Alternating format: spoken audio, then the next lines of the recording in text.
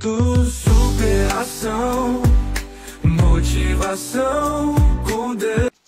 Olá, queridos ouvintes, bem-vindo a mais um episódio do podcast Superação e Motivação. Eu sou Breno Santos e hoje vamos falar sobre um tema inspirador: o segredo de Davi para vencer Golias. Davi, ele acreditava firmemente que Deus estava ao seu lado. Ele via a batalha não como um confronto ele e Golias, mas entre Golias e o Deus de Israel. Em 1 Samuel 17,45, Davi, porém, disse ao filisteu: Tu vens a mim com espada e com lança e com escudo, porém eu vou a ti em nome do Senhor dos Exércitos, Deus dos Exércitos de Israel, a quem tu tens afrontado. Davi, ele mostrou uma confiança incomum para alguém tão jovem, baseada em suas experiências passadas de proteger suas ovelhas de predadores como leões e urso. Em 1 Samuel 17,37, o Senhor me livrou da mão do leão e da do urso, ele me livrará da mão deste filisteu.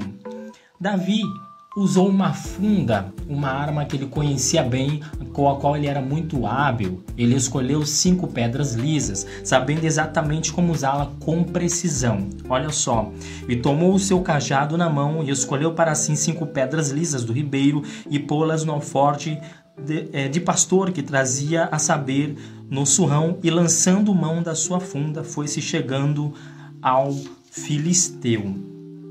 Davi ele não tentou lutar no mesmo nível de Golias, corpo a corpo, onde ele certamente estaria em desvantagem. Né? Em vez disso, ele usou a sua agilidade, a surpresa de sua arma para acertar Golias na testa, um ponto vulnerável.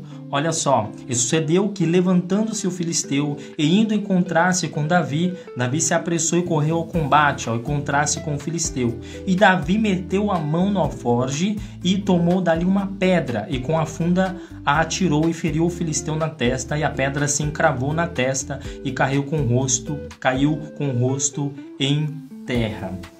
Davi não estava lutando por glória pessoal, mas para defender a honra de Deus e do seu povo.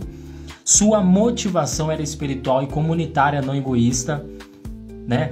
Vamos lá ver esse versículo. E saberá toda esta congregação que o Senhor salva, não com espada, nem com lança, porque do Senhor é a guerra, e ele vos entregará nas nossas mãos. Superação, motivação com Deus no coração. Sempre vou seguir dias escuros, sofrimento, mas em oração encontro alento. Mesmo caindo, eu me levanto. Em tua graça eu me encanto. Superação